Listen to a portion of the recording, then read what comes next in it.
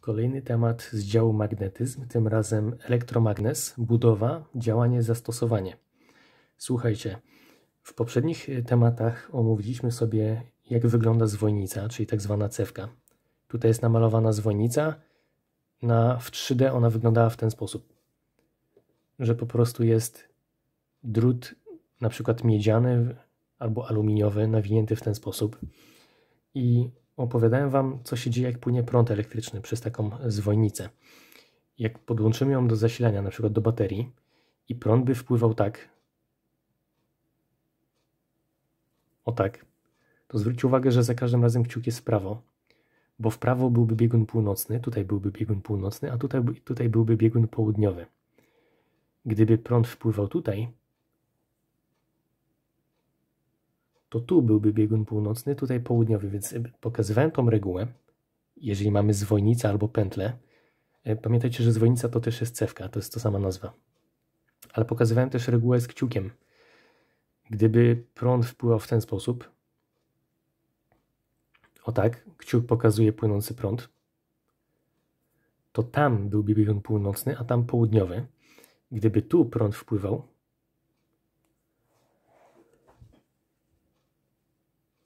to tu byłby biegun północny, to południowy. Obie reguły są dobre, tylko to od Was zależy, jak Wam będzie wygodnie to sobie pokazywać. I teraz tak, to już omawialiśmy. Omawialiśmy też substancje, tak zwane feromagnetyki, które wykazują właściwości magnetyczne. E, co by się stało, gdybyśmy we wnętrzu, we wnętrzu takiej zwojnicy umieścili feromagnetyk? To jest przykład doświadczenia właśnie 33 w książce. Gdyby się nawinęło drut na stalowy gwóźdź,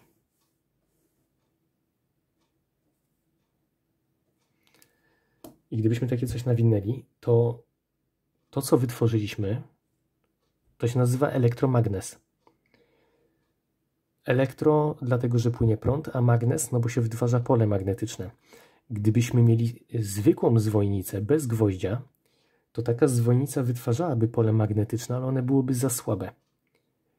Jeżeli natomiast włożymy feromagnetyk do środka jako, jako rdzeń, to ten feromagnetyk, y, wewnątrz niego uporządkują się domeny, o których opowiadałem, i one spowodują, że, się, że wzrośnie wartość pola i te pole magnetyczne będzie mocniejsze, niż gdyby była pusta zwojnica.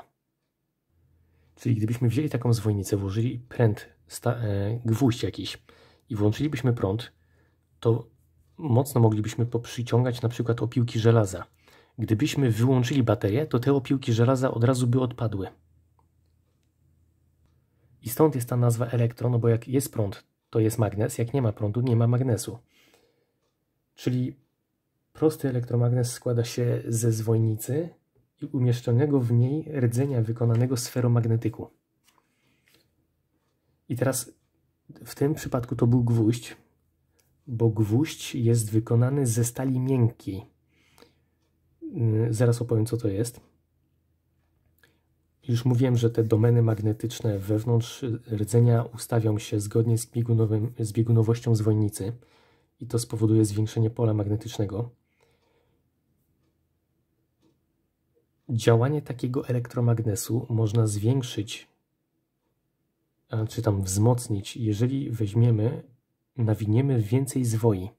Jak wykonamy więcej zwoi, to dzięki temu będzie silniejsze pole magnetyczne. Jest jeszcze drugi sposób na zwiększenie pola magnetycznego. Wystarczy puścić większe natężenie prądu. Czyli podsumowując, elektromagnes już wiecie, co to jest. Może być takie pytanie. Z czego się składa? Ze zwojnicy, ze źródła zasilania i elementu ze stali miękkiej, tak zwanego feromagnetyku. W jaki sposób zwiększa się natężenie pola? Czy tam w jaki sposób zwiększa się wielkość tego pola magnetycznego? No poprzez zwiększenie liczby zwoi albo poprzez większe natężenie prądu. Wypiszcie sobie to. Jako ciekawostka tam jest napisane, że stal twarda to jest inaczej stop żelaza z domieszką niklu, kobaltu albo glinu. Taką stal twardą trudno jest namagnesować i rozmagnesować. jej się nie stosuje do e, elektromagnesów, ją się stosuje do budowy magnesów sztabkowych na przykład albo podkowiastych. Po prostu do magnesów trwałych tak zwanych. Natomiast stal miękka, stal miękka to jest stop żelaza z domieszką krzemu, łatwo się magnesuje i łatwo się rozmagnesowuje. No i z niej, z tej stali miękkiej wykonuje się rdzenie elektromagnesów. Czyli pamiętajcie, że elektromagnes jest ze stali miękkiej. A co to jest stal miękka? To jest stop żelaza z domieszką krzemu. Skąd nazwa domieszka? No bo dosypałeś coś w trakcie mieszania, domieszka, można tak to nazwać. Dobra, teraz tak. Do czego się wykorzystuje takie elektromagnesy? Przykładem najbardziej popularnym, którym, z którym macie do czynienia, to jest e, szkolny dzwonek. Przygotowałem sobie wydruk, żeby nie musieć e, rysować go. Słuchajcie, to jest przykład dzwonka, tylko złapię ostrość. Patrzcie. Tutaj mamy elektromagnes. On słabo jest widzialny, ale na stronie 136 w podręczniku będziecie widzieli. Tu jest, tu jest e, stalowy jakiś pręt, a tu jest zwój. Czyli tu jest elektromagnes. I teraz, jeżeli klikniemy w łącznik prądu, który jest przedstawiony prawdopodobnie tutaj na rysunku, czyli jak naciśniesz tu, to się zamknie obwód jak zamknie się obwód, to zacznie płynąć prąd elektryczny. I teraz w wyniku płynięcia prądu w tej zwojnicy wytworzy się biegun północny i południowy, czyli wytworzy się po prostu magnes, który będzie przyciągał, patrzcie, tu się wytworzy, o z tej strony się wytworzy pole magnetyczne i z tej. To pole spowoduje przyciągnięcie tego młoteczka, bo on jest metalowy, czyli jak tu się wytworzy magnes, to to zostanie przyciągnięte i w momencie jak zostanie przyciągnięte, to uderzy w, w dzwonek, będzie sygnał dźwiękowy i teraz jak to się przesunie, zobaczcie, bo to się przesunie w ten sposób. Tu tutaj przestanie, nastąpi przerwa w dopływie prądu. Bo to jak jest w tej pozycji, to jest układ zamknięty i może płynąć prąd. Teraz jak to się ruszy w tą stronę i walnie w kopułę, to tu nastąpi przerwanie prądu elektrycznego i elektromagnes przestanie działać, czyli pole, magnetycznie, pole magnetyczne przestanie istnieć młoteczek wróci do położenia początkowego. Dzięki temu znowu się zamknie e, obwód, znowu zacznie płynąć prąd i ten prąd spowoduje powstanie pola, które przyciągnie znowu ten młoteczek i znowu nastąpi uderzenie. Z racji tego, że nastąpiło uderzenie, to tu się przerwał dopływ prądu, czyli magnes przestał działać, elektromagnes przestał działać, więc młoteczek wraca do położenia początkowego i znowu się zamknął obwód.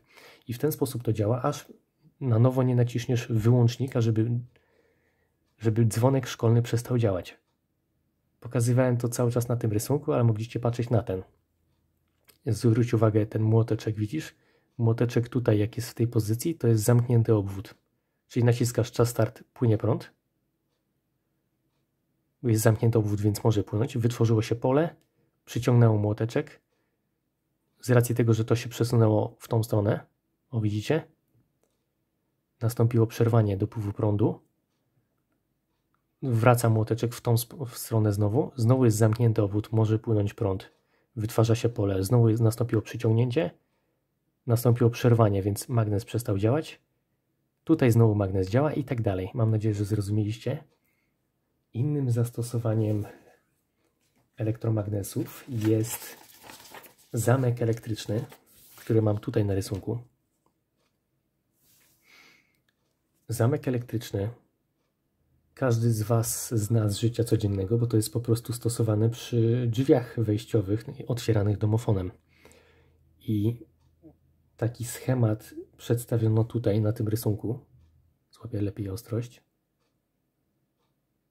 I co tutaj możecie zobaczyć? Możecie zobaczyć, że głównym elementem jest obwód elektryczny ze zwojnicą i, stalo i stalową lub żelazną zasuwą. Tu jest ta stalowa lub żelazna zasuwa. Czyli masz elektromagnes, przez który będzie mógł płynąć prąd, stalowa y, zasuwa Tu są drzwi, czyli ta stalowa zasuwa będzie się tak ruszać. Tu będą drzwi zamknięte, teraz są otwarte. Tu jest ściana, a tu są sprężyny. Po co są te sprężyny? Zaraz wyjaśnię. Teraz słuchaj. Jeżeli zamkniemy obwód, to prąd zacznie płynąć przez elektromagnes i wytworzy się pole magnetyczne. To pole spowoduje, że ta stalowa zasuwa przesunie się w kierunku elektromagnesu. Czyli ona była w tej pozycji, ale jak włączysz prąd, to ona się przesunie do tej pozycji. I te sprężynki się rozciągnęły. Bo patrz, jak ta, ta zasuwa jest z tej strony, to sprężynki są w normalnym stanie, czyli są tak jak sprężynka od długopisu. Teraz natomiast jak włączysz prąd, to ta zasuwa się przesunie, więc sprężynki się wydłużą. A już wiecie, że jak sprężynka jest wydłużona, to chce wrócić z powrotem do położenia równowagi i w momencie, kiedy płynie prąd, to drzwi są otwarte. Jak przestanie płynąć prąd, to pole wyłącza się magnetyczne, więc nie ma co przyciągać tej stalowej zasuwy. Ta stalowa zasuwa wraca do położenia wcześniejszego, dlatego że sprężyny były rozciągnięte i one chcą z powrotem przyciągnąć ją, żeby zamknąć drzwi. Teraz idąc dalej, przejdziemy do właściwości magnetycznych substancji, o których już wcześniej opowiadałem, że mamy feromagnetyki, ale oprócz feromagnetyków istnieją także inne materiały, które oddziałują magnetycznie, albo są przyciągane, albo odpychane. Mogą być też materiały, które nie do końca wykazują właściwości magnetyczne, albo po prostu ich nie widzimy, bo nie mamy dobrego sprzętu. I spośród tych substancji, o których tutaj przed chwilą mówiłem, możemy właśnie wyróżnić feromagnetyki. One silnie oddziałują z y, magnesami, ale są także pozostałe substancje, które słabiej oddziałują lub w ogóle nie oddziałują. I tu można wyróżnić dwie grupy. W książce macie napisane, że są paramagnetyki. Paramagnetyki. To się razem pisze. Oraz diamagnetyki. I teraz najpierw opowiem, co jest tam napisane, a później powiem po, e, po swojemu trochę bardziej szczegółowo. Słuchajcie, Paramagnetyki wystarczy, że na waszym etapie zapamiętacie, że to są substancje, które są przyciągane przez magnes, jednak one oddziałują w miarę słabo i nie bylibyśmy w stanie tego zaobserwować bez specjalistycznej aparatury,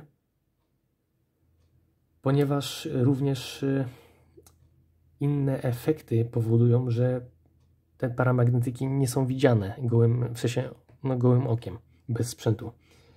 Chyba, że mielibyśmy bardzo silny magnes, który byśmy zbliżyli do paramagnetyka, to wtedy można byłoby to lepiej zauważyć.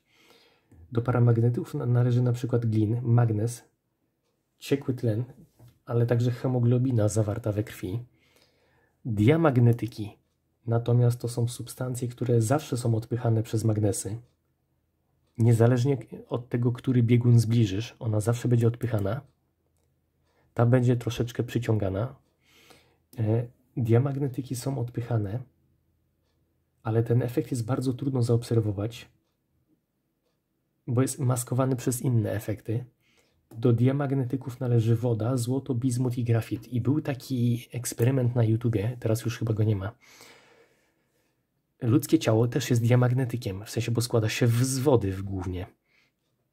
Tak, tak samo żaba to, co byście mogli znaleźć na YouTubie, to była żaba, która lewitowała w powietrzu, dlatego że była umieszczona pomiędzy bardzo silnym polem magnetycznym.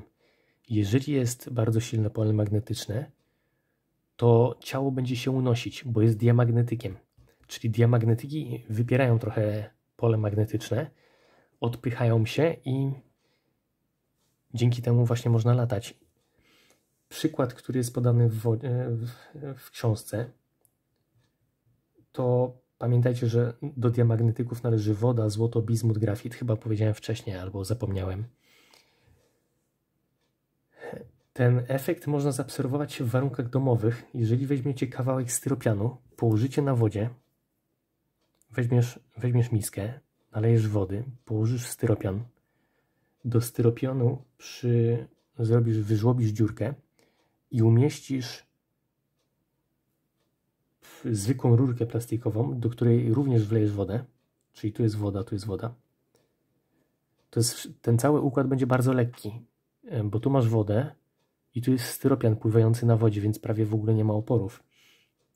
I teraz słuchajcie, jeżeli weźmiesz, zbliżysz magnes, na przykład neodymowy, jak zbliżysz magnes, to ta rurka pływająca na styropianie zacznie się oddalać. Możecie taki eksperyment wykonać w domu, jeżeli macie magnes neodymowy i macie czas, to dałbym 4 plusy. Przynajmniej u mnie, zależy jak wasz prowadzący. To jest taka ciekawostka, żeby młodzież się więcej nauczyła. Pamiętajcie, że woda w szczególności jest diamagnetykiem. Czyli już wiecie, że diamagnetyki odpychają się. A teraz podam Wam szczegółowo, z czym to jest związane. Jak chcecie, to sobie przewincie dalej, nie musicie tego słuchać. Mówiłem już, że magnetyzm to jest zespół zjawisk fizycznych związanych z polem magnetycznym, które mogą być wytwarzane przez prąd elektryczny, ale także przez materiały magnetyczne. To jest związane z tym, że takie materiały magnetyczne, o których zaraz powiem, mają elektrony. I teraz są dwa wyjaśnienia, właściwie to są dwa, dwie podstawy fizyczne. Jedną można opisywać w skali makroskopowej, a drugą w skali mikroskopowej. Tego nie musicie sobie notować, jest makroskopowa,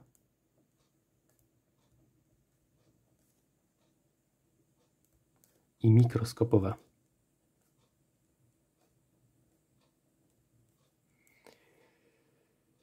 Makroskopowa oznacza, że w powiększeniu, w sensie, że, że można to zobaczyć prawie gołym okiem.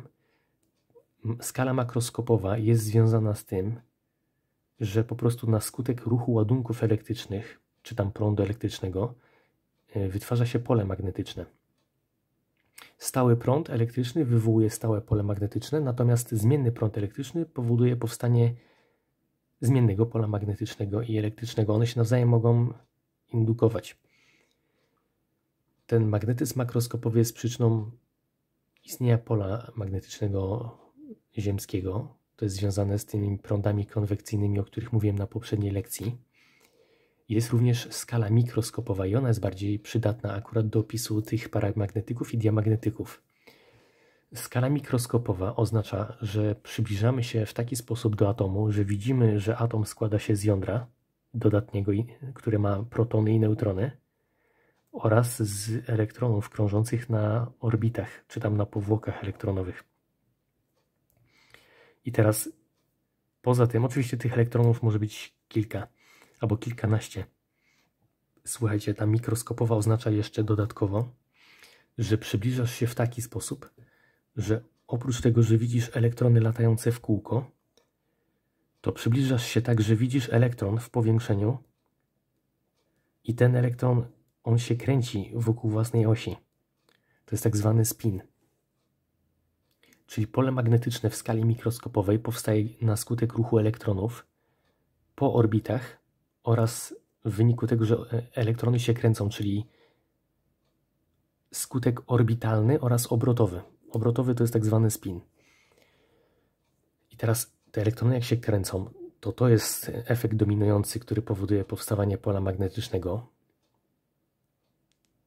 W niewielkim także stopniu pole magnetyczne jest wytwarzane przez y, protony i neutrony, ale to pomija się akurat.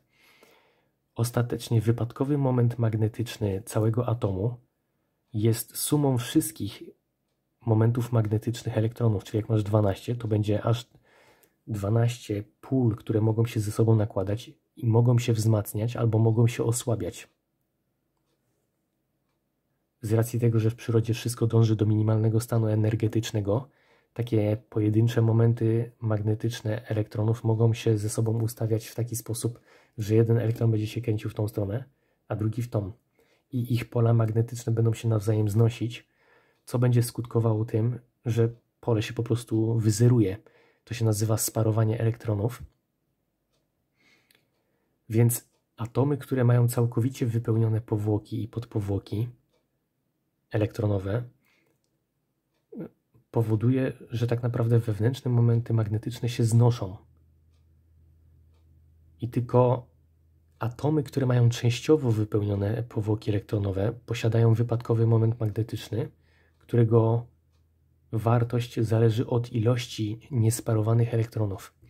No i właśnie i tam się wymienia te substancje, takie jak diamagnetyki paramagnetyki.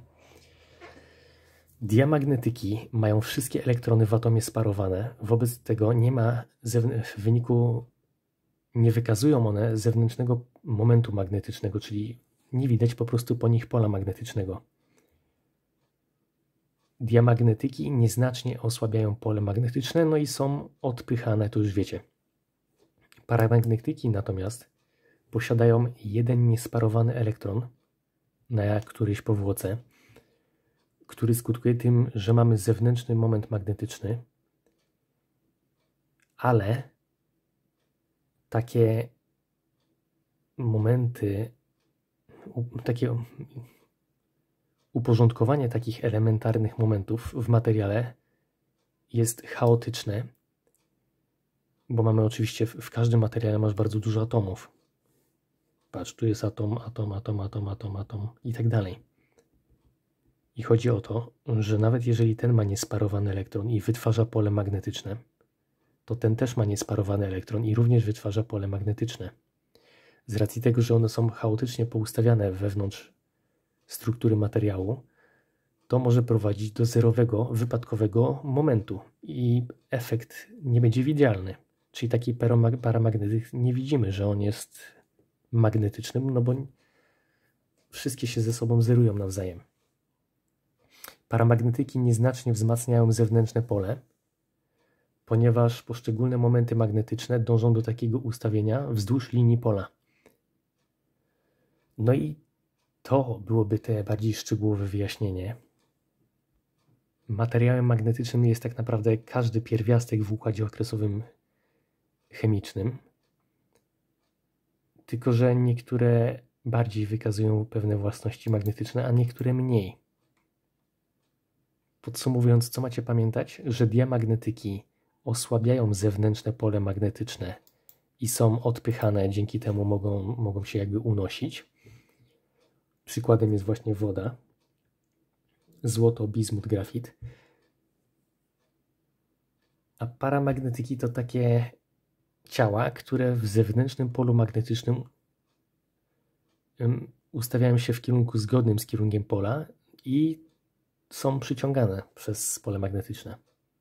Ale to nie znaczy, że są bardzo mocno przyciągane. Paramagnetyki są słabo przyciągane w porównaniu do feromagnetyków.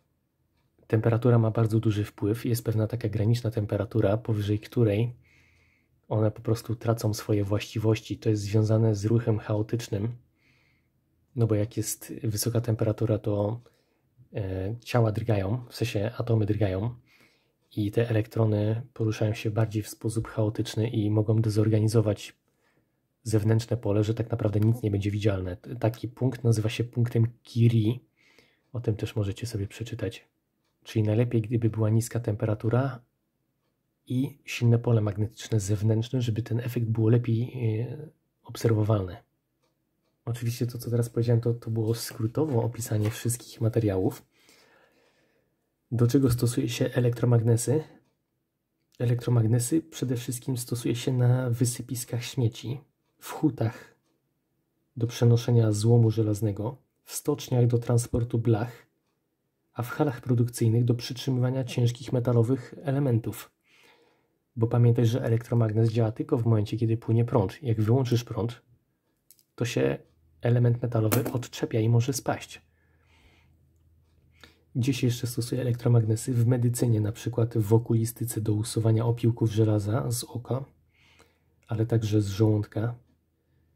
Do rezonans magnetyczny to też jest elektromagnes, bo pod wpływem płynącego prądu wytwarza się pole magnetyczne, które zmienia ustawienie cząsteczek wody w organizmie i dzięki temu ciało wewnątrz można do, bardzo dokładnie zaobserwować, ale także w badaniach naukowych stosuje się elektromagnesy. Przypadkiem takim przykładem jest laboratorium Fermiego w USA. To się nazywa akcelerator kołowy. elektromagnesy służą do zakrzywiania toru cząsteczek, które się poruszają. Do zadań przejdę później, pod sam koniec filmu, tak jak zawsze. Teraz omówię ostatni temat, to jest oddziaływanie magnetyczne, a silnik elektryczny. Czyli zajmiemy się silnikiem elektrycznym.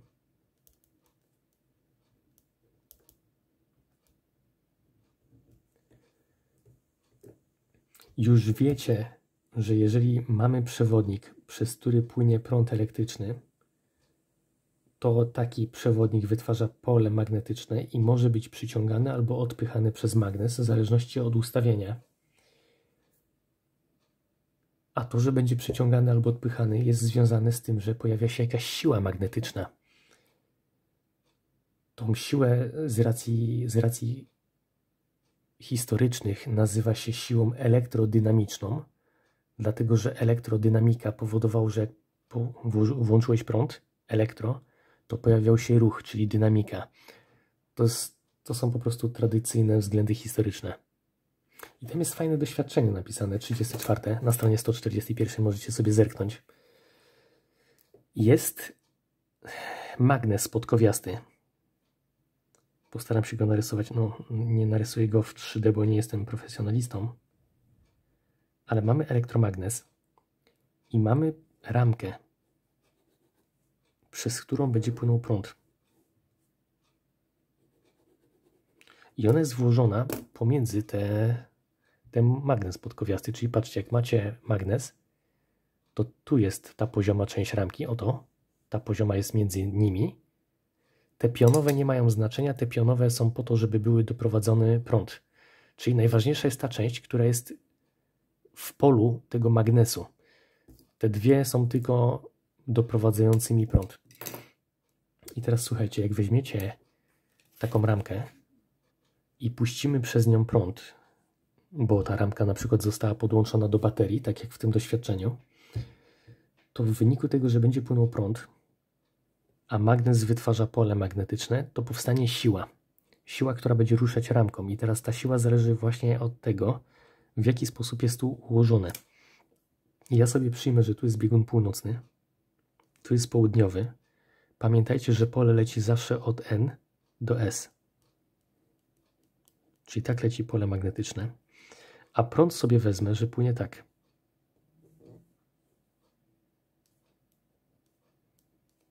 To jest prąd. I teraz w którą stronę ta ramka się wychyli? Pokażę Wam najpierw metodę baseballową. Ja to nazywam baseballową, bo to z Ameryki jest prawdopodobnie wzięte, żeby było łatwiej. E, Amerykanie, jak jesteś praworęczny, to w baseballu rzucasz prawą ręką piłkę, a lewą ręką łapiesz piłkę. I tak samo jest tu. Twoja lewa ręka będzie łapała pole magnetyczne, bo pole magnetyczne leci od N do S, czyli jak masz ten, jak masz, załóżmy, że będziemy tak robili. To jest ten magnes podkowiasty.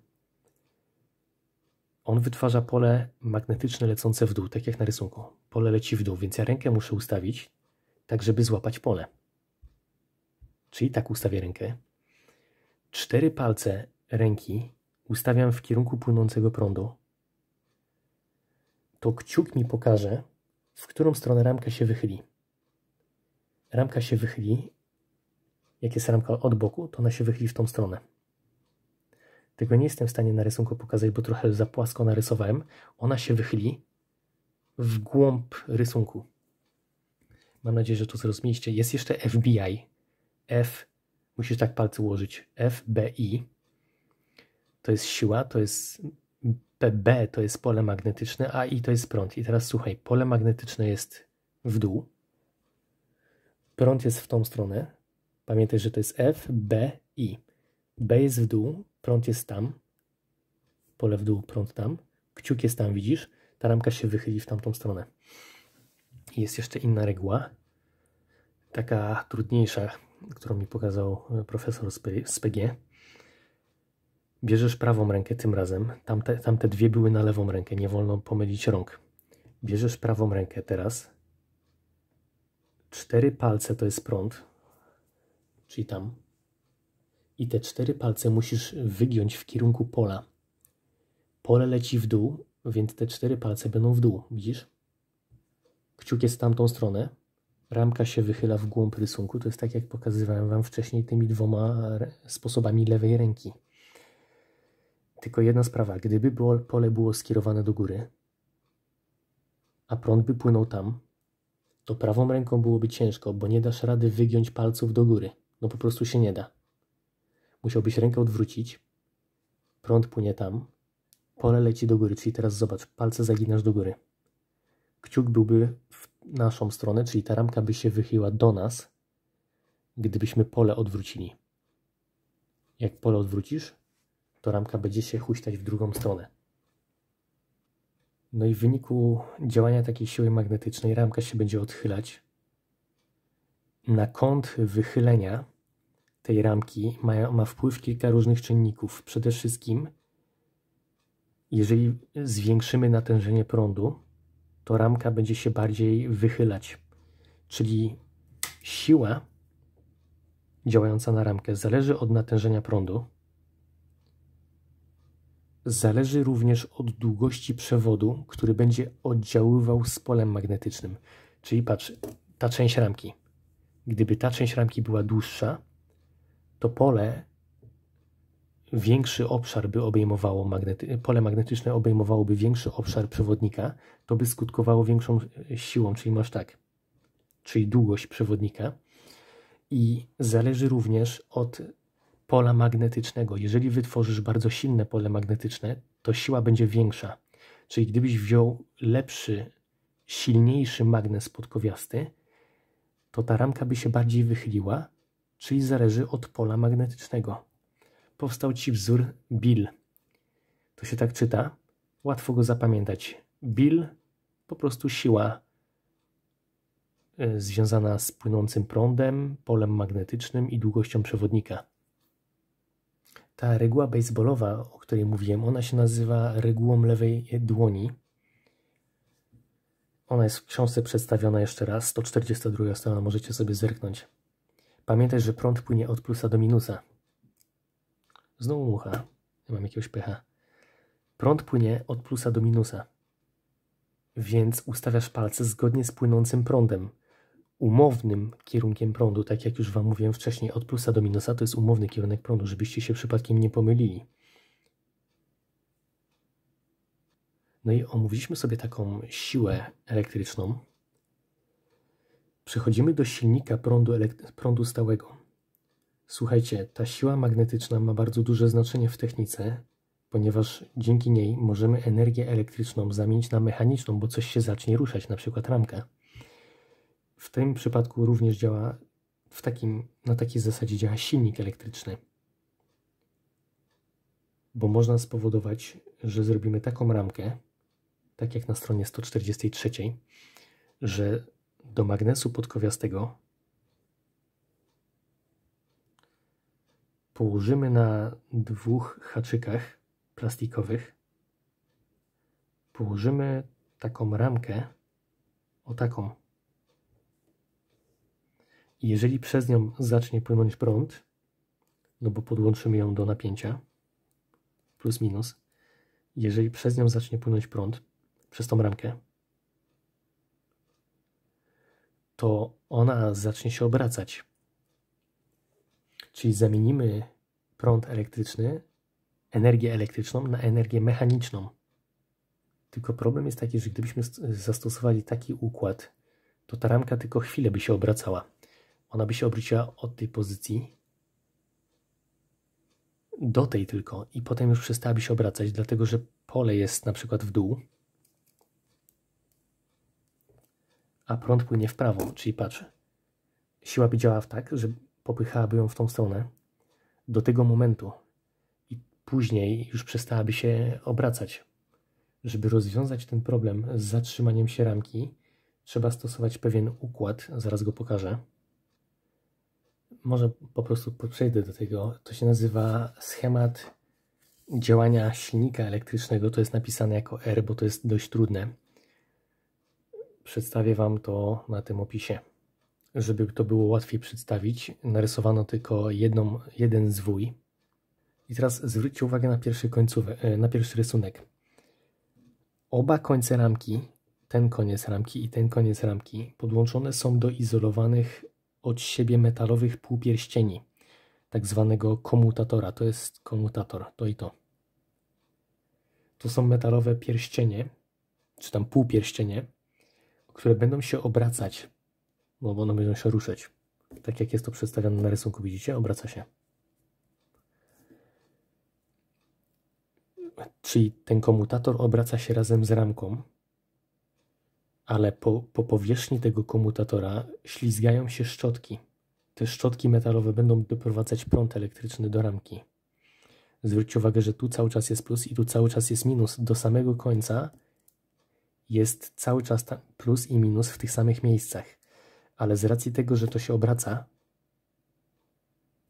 to raz jest plus tutaj przyłączony, raz nie jest w ogóle prąd połączony, a potem jest plus do drugiego komutatora podłączony. Zwróć uwagę, że do, najpierw było do szarego podłączone, a potem jest do ciemnego.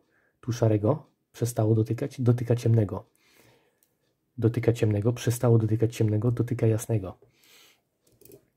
Teraz rozpatrzmy najpierw od położenia pierwszego.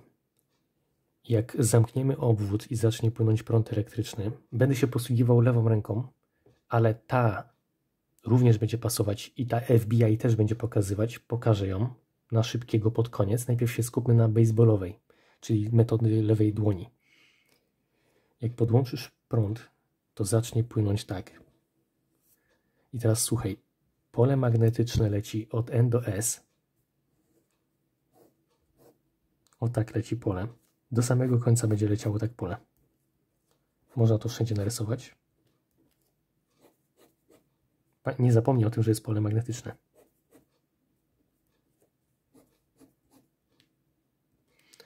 Od N do S. Słuchaj, biorę metodę lewej dłoni. Zajmę się tą górną częścią. Prąd płynie tam, w głąb rysunku. Pole jest do góry, więc lewą rękę ustawię tak. Dlaczego tak? Bo muszę złapać pole, które leci do góry i cztery palce muszą być w głąb rysunku. Widzisz? Siła działa w prawo. Zgadza się. Teraz wezmę tą część ramki. Prąd płynie tak i tu wraca, czyli prąd teraz płynie jakby bliżej nas, do nas płynie.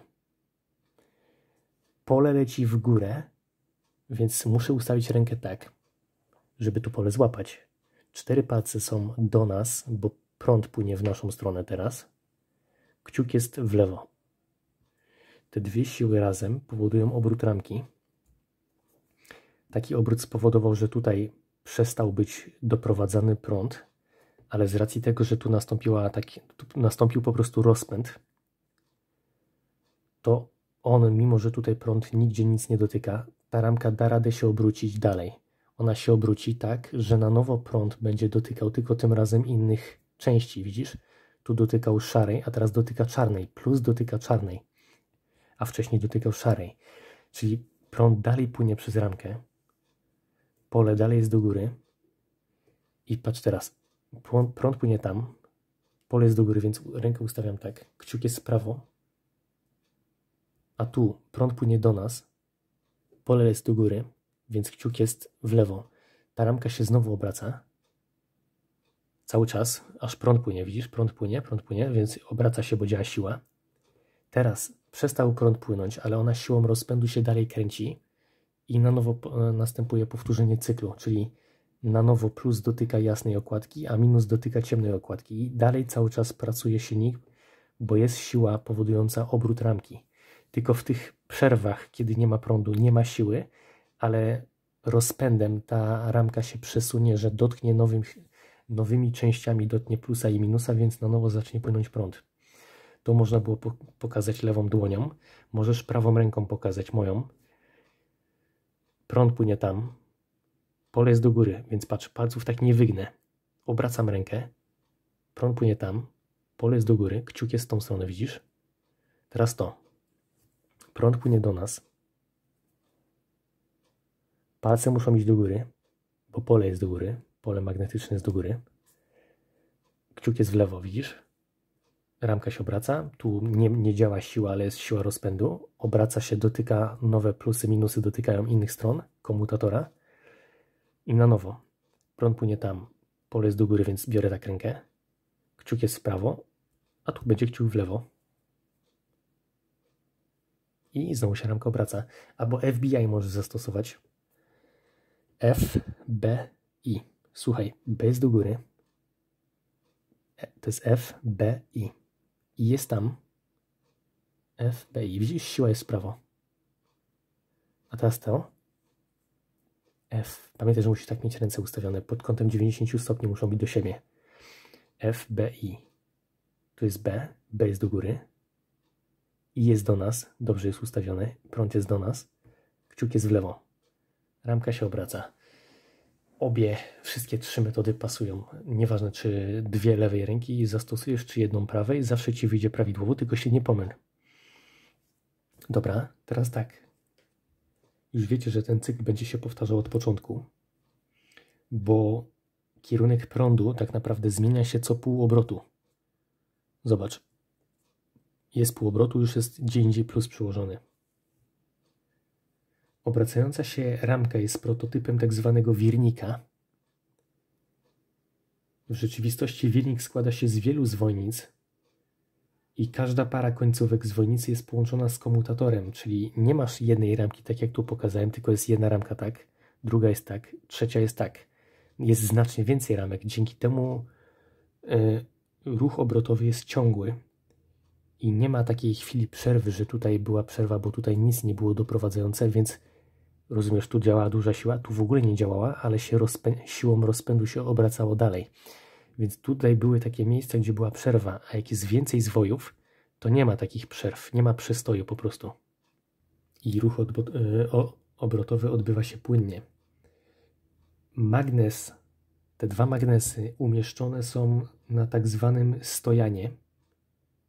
Stojan, bo stoją. E, to jest nieruchoma część silnika. Stojan to jest nieruchoma część silnika ale w rzeczywistości w silniku nie ma magnesów takich jak tu są namalowane, tylko są elektromagnesy, więc to jest po prostu bardziej skomplikowane. Co jest ważne? No już wiecie jak działa silnik, to był akurat rozszerzony przykład, więc ja tego nie będę dawał swoim uczniom, ale w liceum takie coś bywa, na przykład na maturze.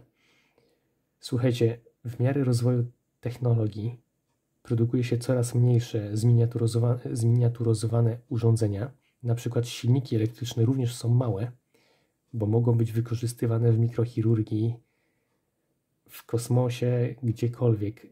I taka średnica takiego silniczka może być 1 mm, czyli to są bardzo małe.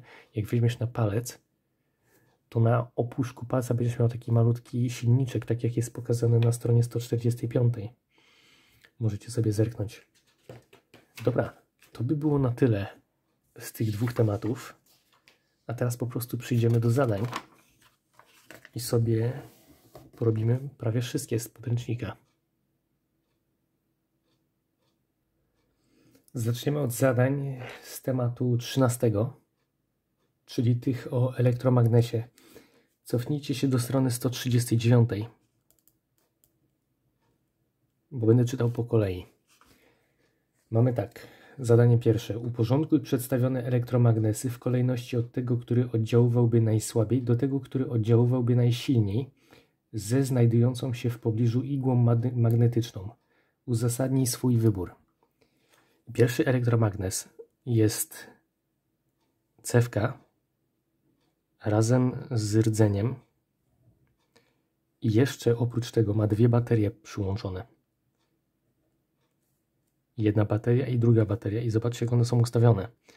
Będą się wzmacniać, będzie większe natężenie prądu. Aha, ona jest tutaj. Podłączona do zwojnicy. Tutaj źle narysowałem. To jest A. W B jest mało zwojów. Jest jedna bateria. W C jest jedna bateria, ale więcej zwojów. W D jest tyle samo zwojów, co w podpunkcie A. Też jest rdzeń włożony, ale zwoje są podłączone tylko do jednej baterii. I teraz jakbyśmy uporządkowali? Mamy uporządkować od najsłabszego do najmocniejszego. Słuchajcie, najsłabszy będzie ten, potem będzie ten, potem będzie ten, a na samym końcu ten. A jest najsilniejszy. Z czym to jest związane? No już mówiłem, że elektromagnes od tego, jaki będzie mocny, zależy ile będzie miał zwojów. Im więcej zwojów, tym mocniejszy magnes. I od tego, jakie natężenie prądu płynie w przewodzie. Jeżeli masz więcej baterii, to znaczy, że będziesz miał większe natężenie. I dodatkowo jeszcze zależy od rodzaju materiału, który jest włożony. Jeżeli jest rdzeń włożony, prawdopodobnie no tutaj jest włożony ze stali miękkiej, czyli z feromagnetyka, to ten zwój na pewno będzie mocniejszy niż ten. Bo sama zwojnica wytwarza pole magnetyczne, ale nie tak mocne jak zwojnica z rdzeniem. Dlatego to jest najsłabsze, mało, nisko średnie, wysoko średnie, wysokie pole. Tak bym to uporządkował. Teraz zadanie drugie jest następujące. To było pierwsze. Drugie. Wybierz poprawne uzupełnienia zdań. Elektromagnes na rysunku obok będzie, mamy wybrać ABCD, gdy zamienimy bieguny baterii, elektromagnes będzie ABCD. Ok, słuchajcie, zwróćcie uwagę, że tutaj jest plus, tu jest minus i zwojnica, zwojnica jest nawijana od tyłu. To jest bardzo ważna rzecz.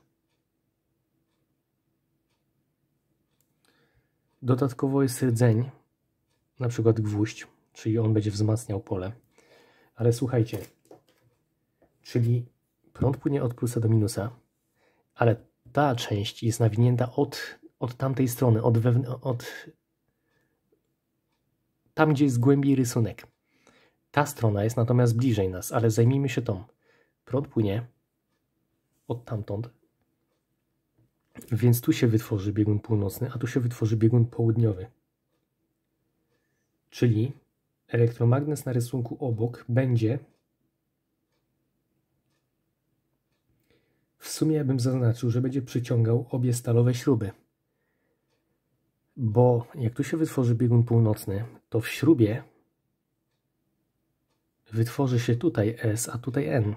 A w tej śrubie wytworzy się tutaj N, a tutaj S, no bo śruba jest y, feromagnetykiem, więc obie będą przyciągane.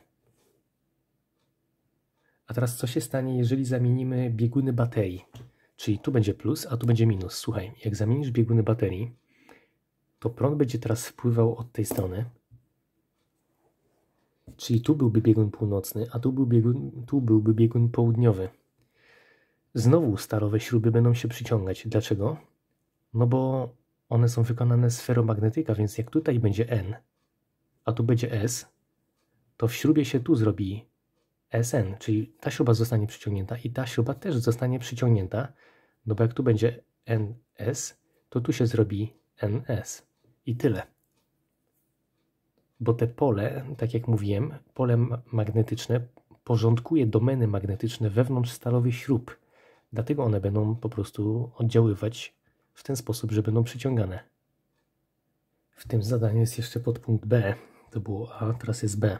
Słuchajcie, jest tak. Oba układy wyglądają tak samo. Czyli tu jest plus, minus. I to jest nawijane od wewnętrznej.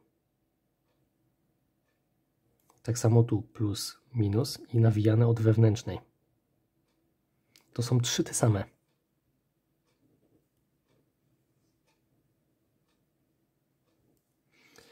To jest pierwszy, drugi, trzeci. I oni się pytają,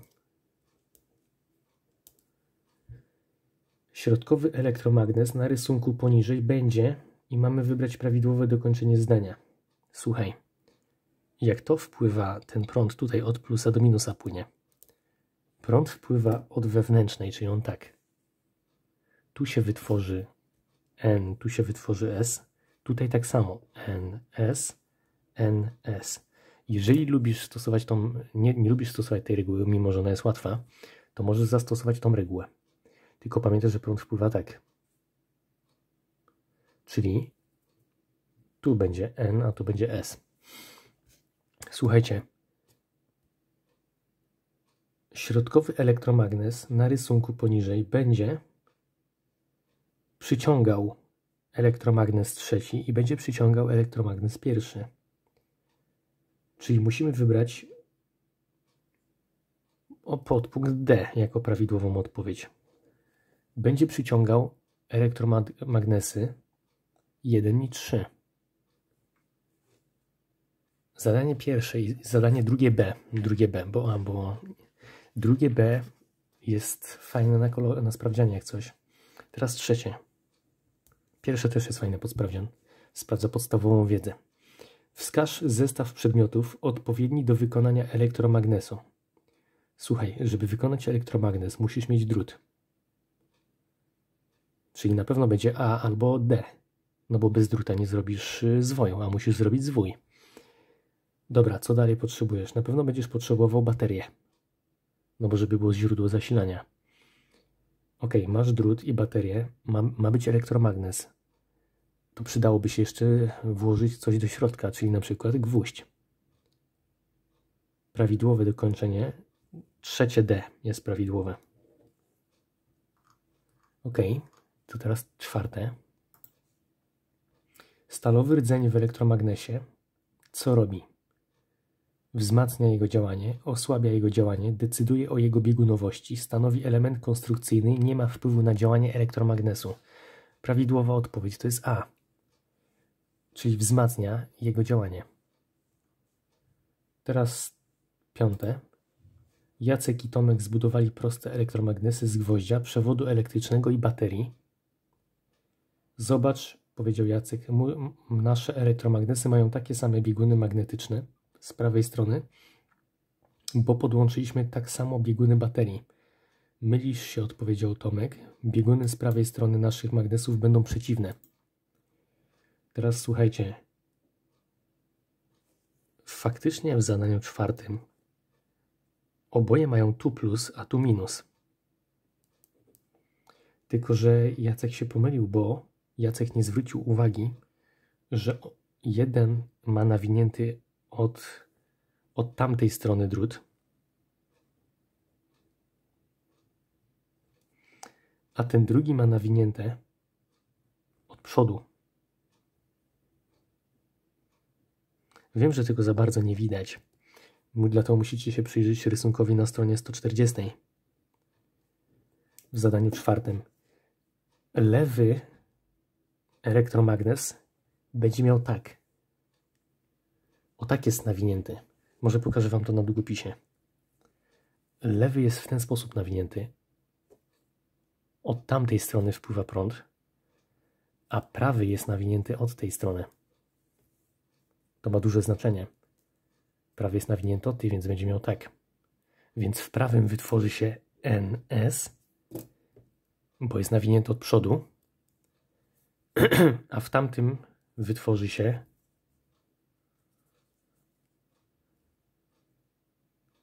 NS.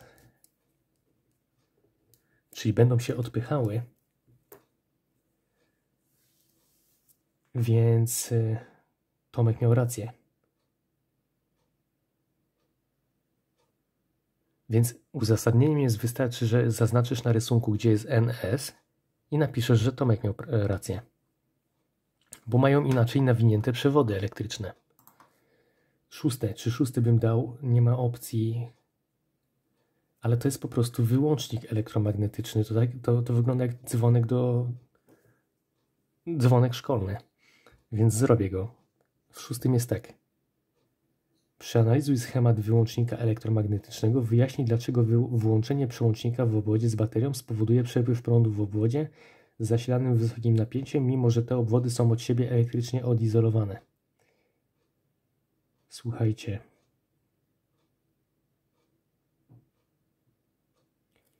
To jest tak. Tu jest plus minus. Tu jest wyłącznik.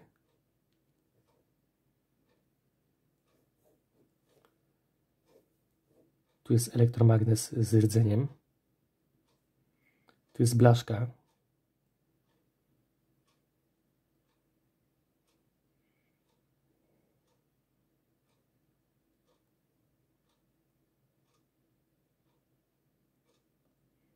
w ten sposób to jest. Tu jest przełącznik, tu jest izolator jeszcze. Tu jest izolator. A tu jest przełącznik obwodu wysokiego napięcia. Tu jest podłączenie do obwodu wysokiego napięcia.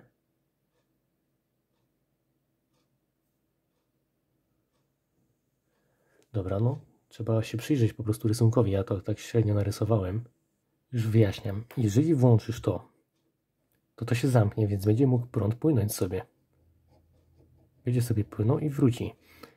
To spowoduje, że wytworzy się pole magnetyczne tutaj w elektromagnesie i to pole magnetyczne przyciągnie to. I teraz, jak to walnie, to tu w momencie walnięcia dotnie tego. To spowoduje wyłączenie prądu, więc to wróci z powrotem do pozycji wyjściowej i z racji, że wróci do pozycji wyjściowej, to znowu będzie jakby mógł płynąć prąd i znowu się wytworzy pole. Znowu przyciągnie to do siebie, przyciągnie to do siebie, to walnie w to i znowu się na moment wyłączy i to tak dalej. To będzie po prostu uderzać cały czas. Nie jestem w stanie lepiej tego zobrazować, bo nie, nie jestem dobry z rysunku, ale mam nadzieję, że może znajdziecie gdzieś na internecie rozwiązanie i będziecie widzieli GIFa, bo jest taka strona, ona darmowa jest, afizyka.pl. Tam mają w sumie rozwiązania. Niektóre są źle, ale to rzadko kiedy się zdarza. To byłoby to. Tam w podpunkcie by się pytają, dlaczego takie podłączenie jest e, lepsze niż zwykłe, proste połączenie. No, te faktycznie jest skomplikowane, ale tak naprawdę no, my jesteśmy po tej stronie, więc dotykamy niskiego napięcia, a ten będzie dotykał wysokiego napięcia. Więc to jest po prostu bezpieczniejsze, bo izolujemy się od wysokiego napięcia, które mogłoby spowodować zgon. Przejdźmy teraz do zadań z ostatniego tematu w tym dziale, temat 14. To było to, co mówiłem o silniku elektrycznym i tej ramce, że się będzie wychylać pod wpływem pola magnetycznego. Zacznę na tej stronie. Słuchajcie, teraz jest tak. Na stronie 146 są zadania. Zaczniemy od y, pierwszego. W tym zadaniu jest tak. Które z poniższych przedmiotów zawierają jeden lub kilka silników elektrycznych? Jaką funkcję pełnią silniki w tych, w tych urządzeniach? Mamy na, na A mamy samochodzik, na B jest laptop, w C jest toster, w D jest latarka, w E jest telewizor, a w F jest pralka.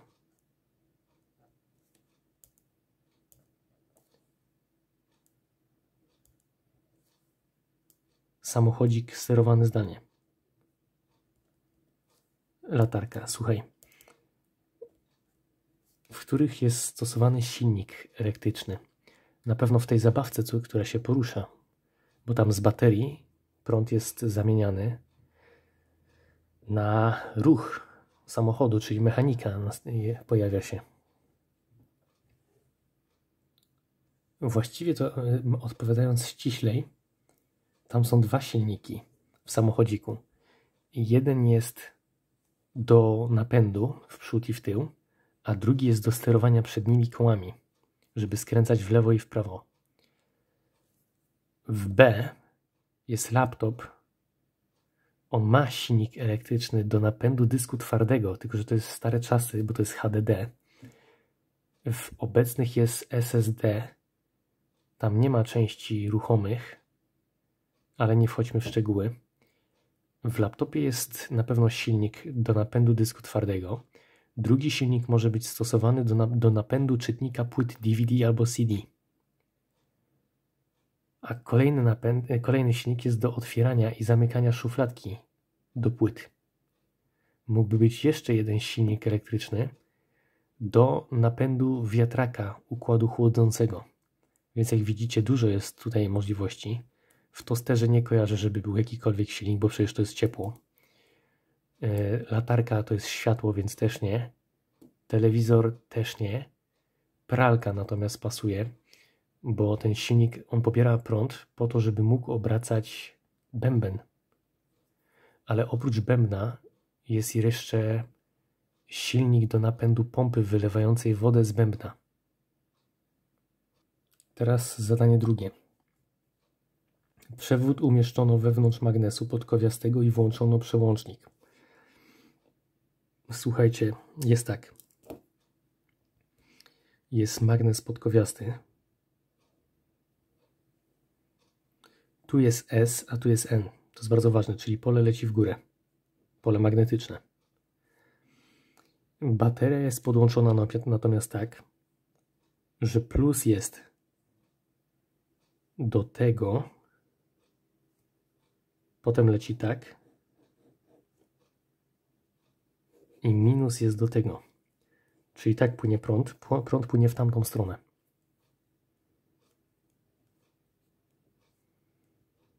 Dobra. A w drugim, na drugim rysunku jest pokazane, że ramka się wychyliła w lewo. Słuchajcie, wypisz poprawne uzupełnienie zdań. Gdy zamienimy miejscami bieguny baterii, ale nie zamienimy biegunów magnesu, przewód mamy wybrać A, B, C, D, E. Słuchajcie, najpierw zróbmy to. Biorę lewą rękę, tą baseballową. Prąd płynie tutaj do nas. Pole jest do góry, więc muszę łapać. Pole jest piłką, więc muszę łapać piłkę. Muszę tak ustawić, ale uwaga, palce są do nas. Ciężko to pokazać. Czekajcie, muszę wstać. Prąd jest do nas. Pole leci do góry, więc je łapię. Kciuk jest w tamtą stronę, dlatego ramka się wychyliła, wychyliła w lewo. Macie to przedstawione na rysunku drugim, obok. Czyli ramka pójdzie o tak. Co się stanie, jak zmienisz bieguny? Czyli tu będzie plus, a tu będzie minus. Słuchaj, jak zmienisz bieguny, to prąd będzie wpływał tak. O tam. Pole leci do góry, ramka się wychyli w prawo. Czyli musisz wybrać, że przewód zostanie wypch wypchnięty na zewnątrz magnesu. No tak, bo on wyleci tak jakby trochę na zewnątrz. Dobra, słuchajcie. Teraz dalej. Gdy zamienimy miejscami bieguny magnesu, ale nie zamienimy biegunów baterii, przewód co się stanie? Czyli zamieniamy magnes. Prądu nie zmieniamy. Czyli prąd dalej płynie tu, w naszą stronę, ale pole tym razem leci w dół. Słuchaj, żeby pole złapać, musisz tak rękę ustawić, bo pole leci tym razem w dół. Tam jest prąd, kciuk jest w naszą stronę, czyli ramka zostanie wypchnięta na zewnątrz. To jest tak jak pokazuję Wam specjalnie lewą ręką. Możesz robić o tą prawą, jeżeli umiesz. Albo FBI. Ja robię teraz tą baseballową, bo jest łatwiej. To jest związane z tym, że siła elektrodynamiczna powstaje w inną stronę. Czyli w B, w tym przykładzie drugim, również musisz zaznaczyć, że przewód zostanie wypchnięty na zewnątrz magnesu bo zmieniliśmy bieguny magnetyczne, czyli to, to doprowadziło do pola magnetycznego, które leci tym razem w dół. Teraz zdanie trzecie. Gdy zamienimy miejscami i bieguny baterii, i bieguny magnesu, to przewód, to się nic nie zmieni. On powinien się dalej wychylić w lewo. Czyli zostanie wciągnięty do wewnątrz. Dlaczego? No bo słuchaj, skoro w tej sytuacji został wciągnięty do wewnątrz, to w sytuacji, kiedy odwrócisz magnes i odwrócisz te plusy, minusy, to tak naprawdę nic nie zmieniłeś, bo odwróciłeś to i to. Ale pokażę Wam to na rysunku. Gdyby tu był plus, a tu minus, to prąd by płynął tam. Gdyby tu było N, a S tu, to pole by leciało tak. Czyli zobacz, musisz rękę tak ustawić, bo pole leci tak, a prąd tam. Widzisz? Kciuk jest w lewo. Czyli zostałaby wciągnięta do wnętrza elektromagnesu. I to koniec. To łatwe zadania w sumie, fajne podsprawdzian bo będzie sprawdzać, czy się umiesz posługiwać lewą ręką, czy tam FBI, albo no, tą prawą, jak pokazywałem. Słuchaj, w zadaniu trzecim jest następujące. Dopasuj litery do cyfr tak, aby powstały zdania prawdziwe. Mamy komutator,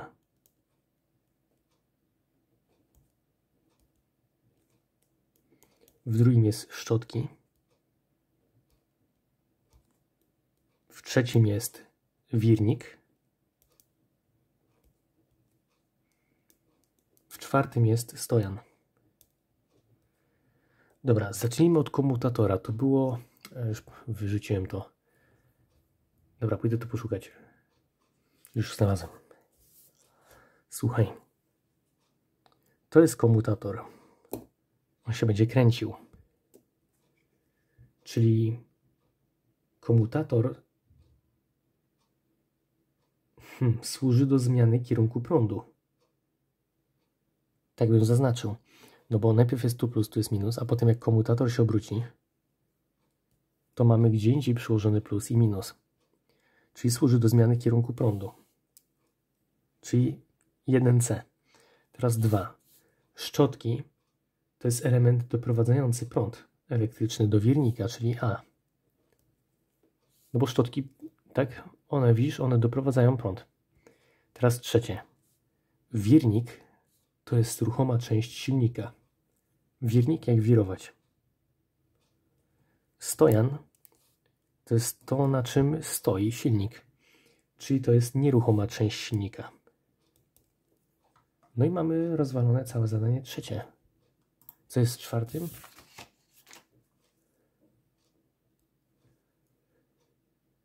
W silniku zamiast magnesów można wykorzystać również elektromagnesy. Określ jaki biegun baterii, dodatni czy ujemny, powinien być podłączony do zacisków A, B, C, D, E oraz F, aby silnik działał prawidłowo i poruszał się zgodnie z ruchem wskazówek zegara. Dobra. Muszę to narysować niestety, więc zapauzuję i zaraz odpauzuję. Dobra, chyba o niczym nie zapomniałem pokracznie, ale jest narysowane to, co wy macie w zadaniu czwartym na stronie 147. Słuchajcie, elektromagnesy. Grubsza część oznacza, że jest bliżej nas, a kreskowana oznacza, że jest tam za, za gwoździem. Tu są szczotki doprowadzające, tu jest komutator, tu jest stojan. Właśnie tu jest, no to zależy. Ale dobra, tu jest ramka. Dobra, ma się poruszać z ruchem, zgodnie z ruchem wskazówek zegara.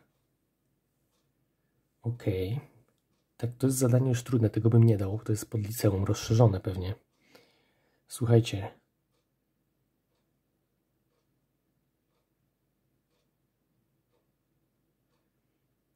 Ok. Hm. Ma działać prawidłowo. Zadanie ma więcej niż jedno rozwiązanie. No tak, to logiczne. Bo się zastanawiałem, że jak położę tu plus, tu minus. Zaraz pokażę. Załóżmy, że tu przyłączam plus, a tu minus. To prąd będzie płynął tak. Czyli tu się wytworzy biegun północny, a tu się wytworzy biegun południowy. Dobra. To zróbmy tak, żeby tu się wytworzył N S. Czyli znowu tak, że tu jest plus, a tu jest minus. Dlaczego tak samo? Bo chcę, żeby tu było z tej strony S, a tu N. Po co? Po to, żeby pole mogło lecieć od N do S, czyli w ten sposób pole będzie leciało w lewo. Po co mi to jest? Ano po to, że teraz jak będę miał tutaj prąd, załóżmy, że tu jest plus, tylko teraz uwaga, być może, że, że się tu pomyliłem z tymi znakami, ale zaraz to zmienię. Gdyby tu był plus, to prąd by płynął tam, zawracałby i wracał. Teraz skupmy się na tym. Gdyby prąd płynął tam, pole jest tak, to muszę rękę tak ustawić, bo muszę je łapać, tak? Widzisz? Łapię pole. Prąd jest tam, bo cztery palce muszą być tam. Siła działałaby do góry. Ok, to dobrze. To by znaczyło, że będzie chciała kręcić o w tą stronę. Czyli siła jest do góry, a ta, a ta siła, prąd jest do nas, pole jest tam. Czekajcie, muszę obrócić tak rękę. Prąd jest do nas, pole jest tak, że je łapie, kciuk jest w dół.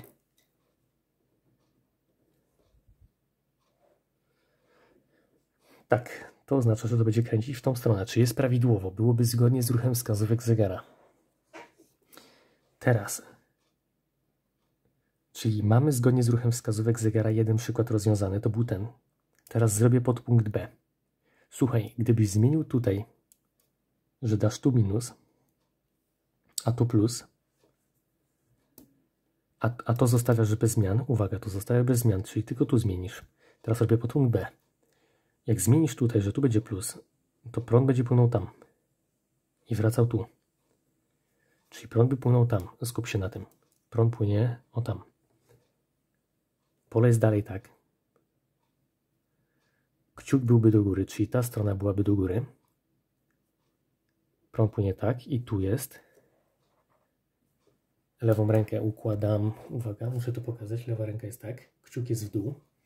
A to byłoby w dół. By się poruszało przeciwnie do ruchu wskazówek zegara. Czyli masz B załatwione. Przy A musi stać plus, przy B musi stać minus, przy, przy E musi stać plus, przy F musi stać minus, przy C musi stać minus, a przy D musi stać plus. Wtedy będzie przeciwnie do ruchu wskazówek zegara. Natomiast jak przy A będzie stał plus, przy B będzie minus, przy E będzie plus, przy F będzie minus, przy C będzie plus, a przy D będzie minus, to będzie się kręcił zgodnie z ruchem wskazówek zegara. Ale to nie jest jedyna opcja rozwiązania. Kolejna opcja rozwiązania jest taka, że teraz tu dasz, robimy A. Jak tu dasz minus, tu dasz plus, czyli masz teraz, no skoro tu dałeś minus, tu plus, to tu będzie n, tu będzie s, zmieniam rysunek, tu będzie n, tu będzie s, bo dałem tu plus, a tu dałem minus, to teraz też dam tutaj plus, tu dam minus, czyli przy E będzie minus, przy F będzie plus.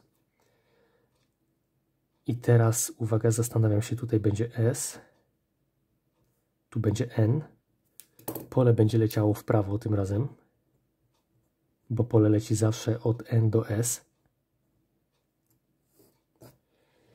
Ok, gdyby prąd płynął tam, pole będzie tam, robię, robię, że tu jest plus, a tu jest minus.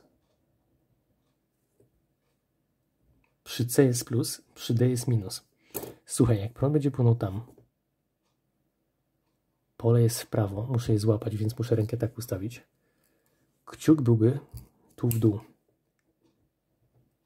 A teraz tu tak płynie prąd. Tak rękę ustawiam. Kciuk byłby do góry tutaj. Czyli ta ramka by się kręciła przeciwnie do ruchu wskazówek zegara. Czyli zrobiliśmy drugi podpunkt B.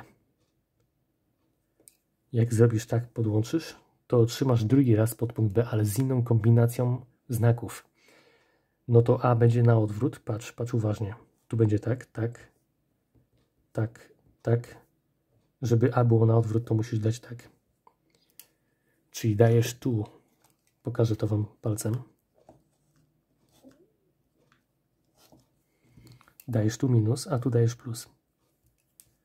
Minus, plus, minus, plus. SN, SN. Pole leci w prawo. Prąd płynie tak. Czekajcie, ostrość. Co było nie tak. Prąd płynie tam, bo tu dałem plus, a tu minus. Czyli prąd płynie w tamtą stronę.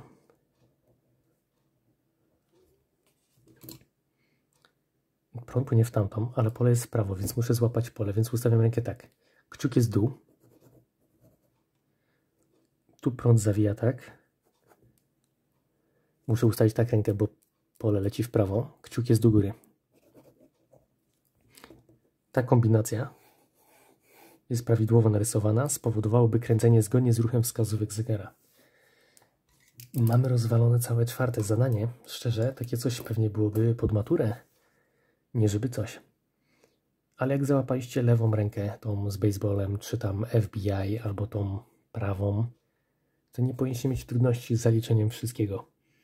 To by było na tyle. Dzięki za oglądanie mojego kanału i byłbym wdzięczny za polecanie znajomym, żeby więcej osób się dowiedziało. Zostawcie komentarz dla zasięgu, bo to wbija się wtedy w statystykę jakąś YouTube'a i wyróżnione jest chyba. No dobra, to dzięki, trzymajcie się.